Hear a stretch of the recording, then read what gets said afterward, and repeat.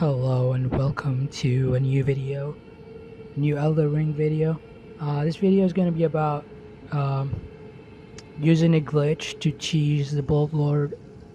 Uh, he's a tough guy. He he hits like a truck. Uh, I think I'm here really early though. I think I'm not supposed to be near this area, this level. My level is like 54 or something here. What you need to do here is uh, to pull off this jump. If you pull off this jump, you're good. You got the boss. You got the victory. Uh, so what you basically need to do is to make an animation uh, and you hold B in the middle of the animation, whatever animation you chose to do here, uh, just so the game registers that you're in sprinting mode and therefore you get uh, a longer jump. Like like I'm doing here I jumped and I held B. Uh, I have uh, an Xbox controller. So the sprinting button I don't know which one is uh, for PlayStation players.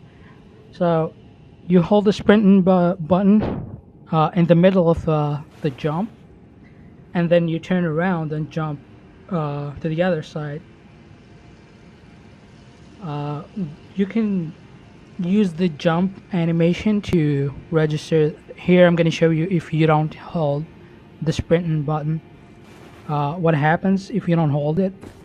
Uh, it's gonna be a short jump. And this is confusing right? If, you, if this is your first time doing this you're probably like how do people pull this off? Like do they have wings? And here I am holding B in the middle of animation and that animation I used is actually trying to summon something when you can. So your dude goes your character goes like oh I can't do this. As soon as the animation goes off you hold the B or the uh, sprinting button and then you turn around and jump and you should have it uh, the boss actually here doesn't do anything he lets you kill him basically so hit him to death and there you go.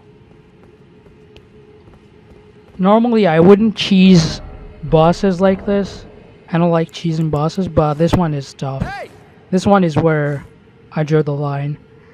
Anyway, see you in the next one, guys. Peace.